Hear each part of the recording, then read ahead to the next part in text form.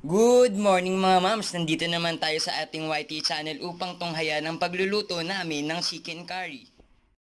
At para sa mga sangkap, kakailanganin natin ng bell pepper, sibuyas, bawang, luya, ating paminta, susunod naman natin ay ang curry powder. At isusunod natin ang carrots at patatas. And also we have here our evaporated milk. Pag gusto nyo ng mas makamura, mas pipiliin natin yung evaporada. Pero kung gusto nyo ano, kung gusto nyo mas masarap o mas magandang quality, it's, it's okay for you to choose the real coconut milk. Depende pa rin yun sa atin kung magtitipid ba tayo o hindi. Susunod natin ay ang asin. And lastly, our chicken. And yes mga mams, magluluto na tayo ngayon. Una, nagpainit tayo ng ating kawali at naglagay na rin tayo ng mantika. Pag uminit na, ilalagay na natin, natin ang ating garlic.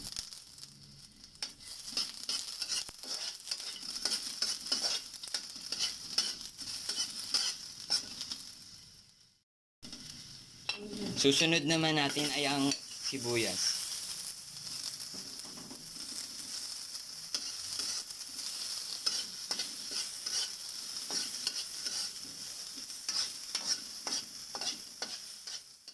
Susunod naman ay ang luya.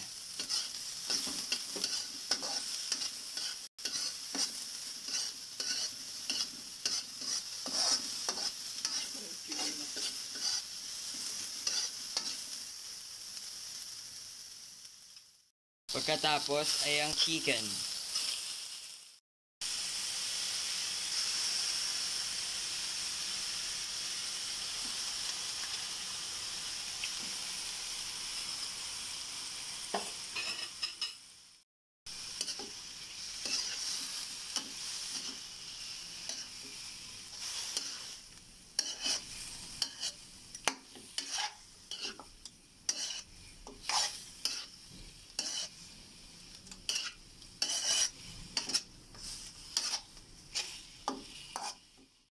Maglalagay naman tayo ng konting tubig.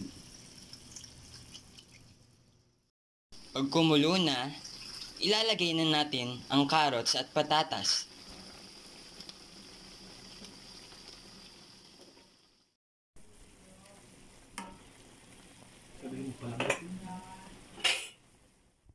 Aantayin naman nating lumambot ang mga gulay. Habang nagpapalambot, ilalagay na natin ng paminta.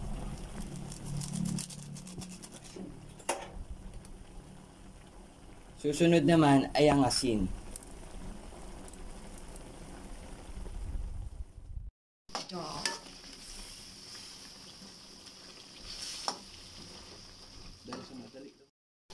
Susunod naman natin ang ating evaporated milk.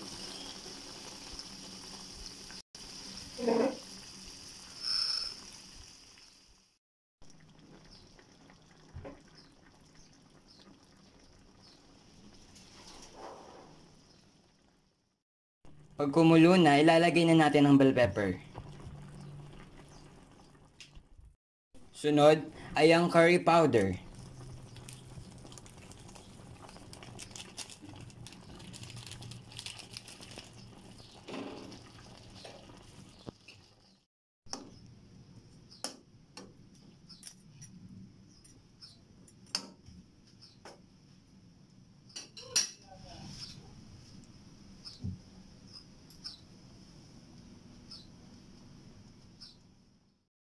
And yes mga mams, luto na ang ating chicken curry. At dahil nga road to 300 subscribers na tayo, asahan yung mas marami pang masasarap na lutuin ang makikita nyo dito lang sa aming YT channel, Luto ni Mams. Don't forget to like, subscribe, click the notification bell for more videos. Bye! Thank you for watching.